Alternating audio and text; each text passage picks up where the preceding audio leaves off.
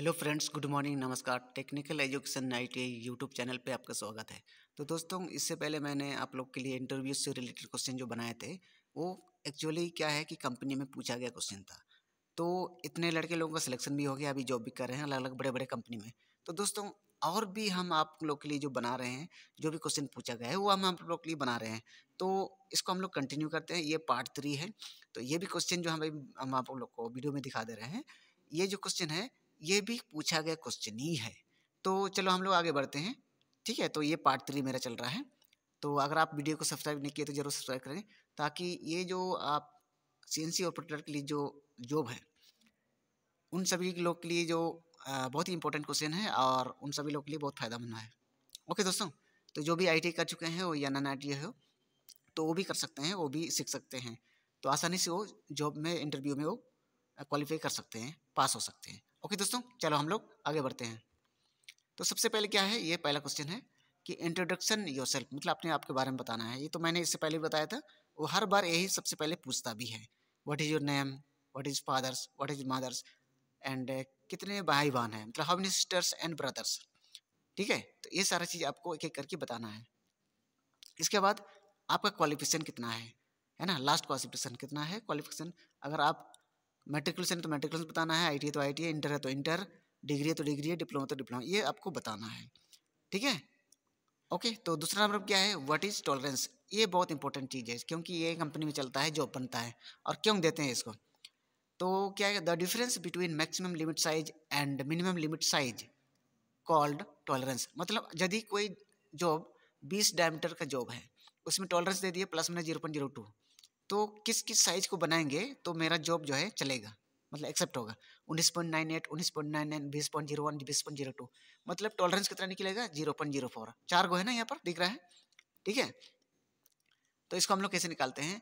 बीस plus zero point zero two जोड़ देंगे और उन्नीस प्लस नाइन पॉइंट एट को माइनस करेंगे तो ज़ीरो पॉइंट ज़ीरो फोर आएगा आंसर इसका मतलब चार गो है, उन्नीस पॉइंट नाइन एट उन्नीस पॉइंट नाइन नाइन बीस पॉइंट ज़ीरो वन और बीस पॉइंट ज़ीरो टू। तो ये आपका टॉलरेंस के अंदर में जो बनेगा। यही आपका एक्सेप्टेबल है। बाकी सब रिजेक्ट नेक्स्ट तीसरा number have you worked in CNC क्या आप सीएनसी में काम कर चुके हो? अगर काम किए हैं तो यस बोलना है, अगर नहीं किए हैं तो नहीं बोलना है। Four number safety device in CNC button मतलब सीएनसी में क्या क्या ऐसा सेफ्टी होता है जो आप रोक सकते हैं? रिसिट बटन हो गया इमरजेंसी बटन हो गया स्टॉप बटन हो गया। तो ये सारा चीज़ जो है आप आपातकालीन स्थिति में बंद कर सकते हैं।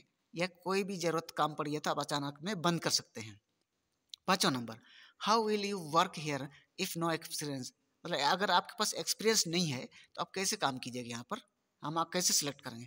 तो ट्रेनिंग करके सीइंग अंडरस्टैंडिंग ये सारा चीज़ करके आप जो है आ, काम कर सकते हैं। देख करके सोच करके समझ करके ठीक है? या तो आपको कंपनी थोड़ा बहुत ट्रेनिंग दे देगा ठीक है?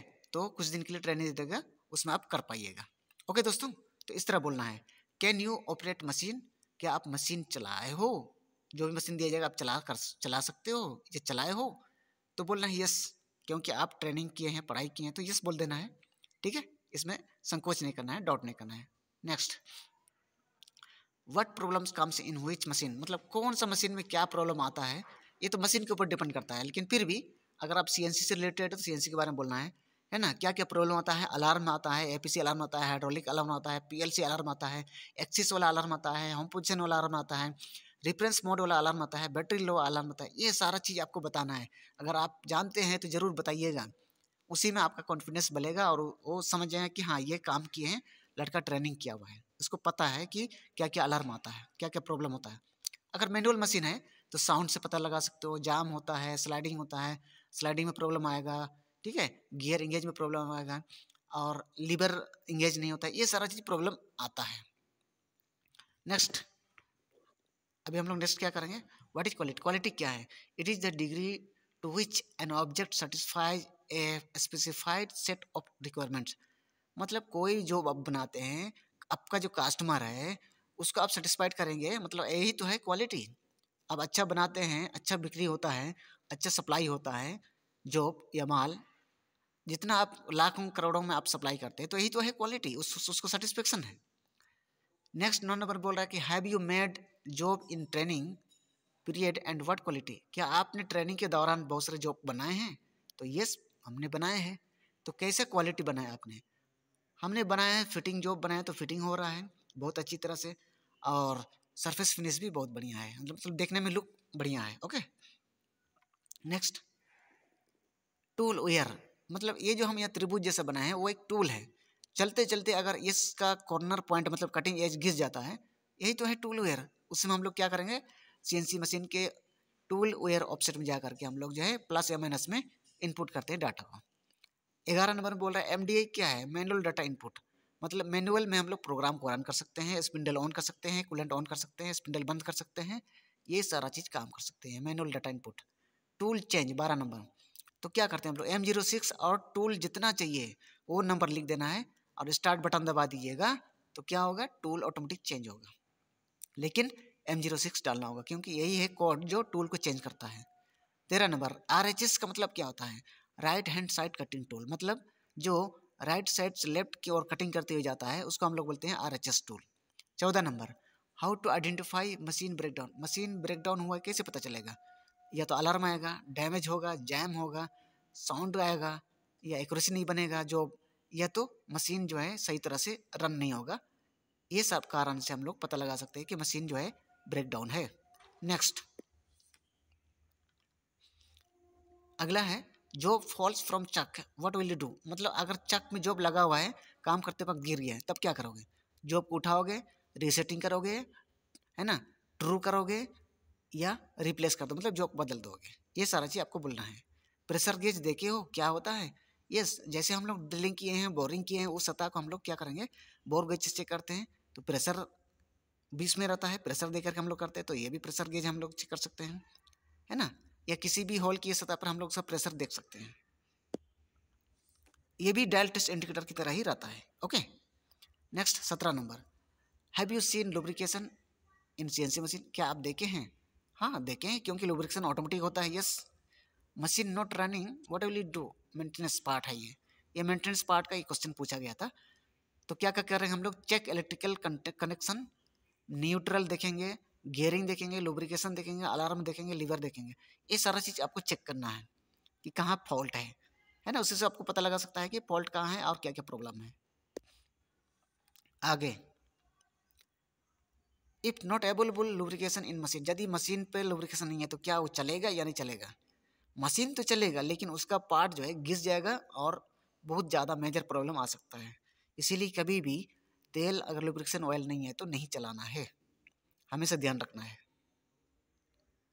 ट्वेंटी नंबर है ब्लॉक स्पीक इन सीएनसी मतलब ब्लॉक स्पीक क्या है? स्किप सी मशीन में?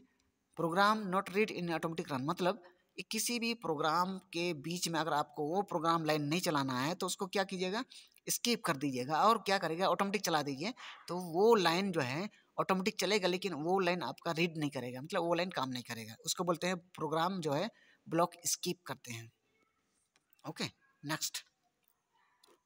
Optional stop use in C N C where. कहाँ पर यूज़ किया जाता है? ये आप प्रोग्राम के लास्ट में दे सकते हैं ताकि दूसरा प्रोग्राम चल सके या थोड़ा देर के लिए रुकेगा। है ना? थोड़ा देर रुक जाएगा, इसके बाद जो है अन्य प्रोग्राम चालू होगा। मतलब एम ज़ीरो वन हम लोग डाल देते हैं प्रोग्राम के लास्ट में एम थर्टी नहीं डालते हैं, ओके? तो वहाँ पर डाल दीजिएगा क्या गया एक प्रैक्टिकल प्रोग्राम रुक जाएगा, इसके बाद दूसरा प्रोग्राम जो है रन हो जाएगा। दूसरा है, ट्वेंटी टू नंबर क्या है? Dry run. ड्राई रन क्या है सीएनसी मशीन में? स्पिंडल और चक जो है रन नहीं करेगा, लेकिन आप जो ऑप्सेट लिए हैं, प्रोग्राम बनाए, उस अनुसार जो है टूल मूवमेंट ज़रूर होगा। पाथ सौ करेगा टूल मूवमेंट ज़रूर होगा। आपको दिखाई देगा कि हाँ सही में प्रोग्राम रन कर रहा है। ठीक है? बाकी से ऑपरेशन नहीं होगा। Next. What is program in CNC CNC में प्रोग्राम क्या करता है? Set of instruction is called program इसको बोलते हैं डिफिनेशन तो जितना भी आप प्रोग्राम बनाते हैं प्रोग्राम के थ्रू जो है जॉब बनाते हैं, जैसे ड्राइंग रहता है उसके अनुसार। एक बार प्रोग्राम सेट कर दोगे तो ऑटोमेटिक जो है कंटिन्यूस चलते रहेगा। इसलिए बोलते हैं set of instruction is called program G code और एम कोड क्या है? जी कोड ज्योमेट्री कोड है टूल पाथ को दिखाता है एम कोड मशीन कोड है, ठीक है? और ये मशीन को कंट्रोल करता है। यहाँ पूछा गया है और है जी ज़ीरो ज़ीरो क्या होता है? रैपिड रिवर्स जी ज़ीरो क्या होता है? लीनियर इंटरपोलेशन टूल को सीधा मूवमेंट कराना है। एम ज़ीरो थ्री क्या है? Spindle rotate in clockwise direction okay अब हम लोग नेक्स्ट करते हैं। एम ज़ीरो फोर क्या है?